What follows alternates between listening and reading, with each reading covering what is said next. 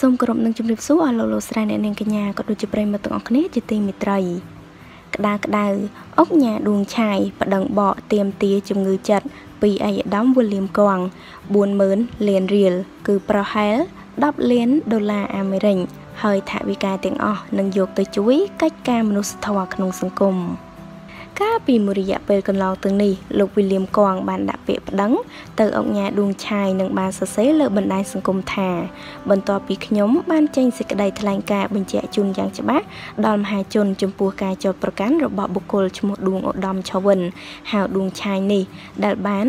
មកចោតប្រកាន់វាយប្រហារគំរាមកំហែងបង្គាប់បញ្ជា លើរូបខ្ញុំខណៈដែលខ្ញុំមិនបានដឹងអ្វីសោះ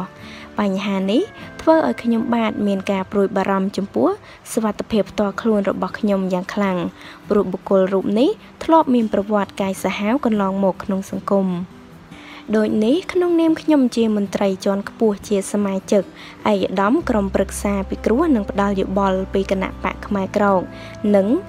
អ្នកនយោបាយថ្នាក់ជាតិមួយរូបបានសម្រេចចិត្តប្តឹងបុគ្គលរូបនេះនិងស្នើឲ្យអាជ្ញាធរមានសមត្ថកិច្ចមេត្តាឃាត់ខ្លួនបុគ្គលរូបនេះដើម្បីធានាបាននូវសុវត្ថិភាពរបស់អ្នកនយោបាយនៅព្រះរាជាណាចក្រកម្ពុជា ស្រាប់តែនៅមុននេះបន្តិចលោកអុកញ៉ាឌួងឆាយបានសរសេរនៅលើបណ្ដាញសង្គម Facebook របស់លោកថា ខ្ញុំបាទបានប្តឹងបកមនុស្សកំសាកវីលៀមកងតាមការគ្រប់គ្រងរបស់ពូមីងបងប្អូនទាំងអស់គ្នា ហើយបានសុំទាមទារជំងឺចិត្តពីលោកវីលៀមកងរហូតទៅដល់40000លានរៀលហើយគិតជាលុយដុល្លារប្រហែល10លានដុល្លារ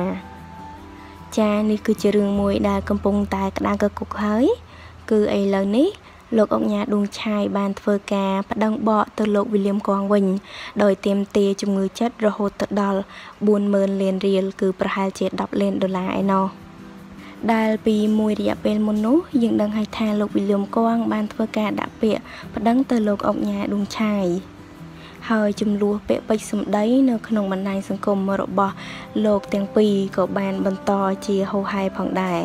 ហើយពេលនេះលោកអុកញ៉ាក៏បានធ្វើការប្តឹងបកលោកវីលៀមកងវិញផងដែរចាហើយរឿងនេះវាវិវត្តទៅយ៉ាងណាយើងនឹងតាមដានរឿងនេះទាំងអស់គ្នា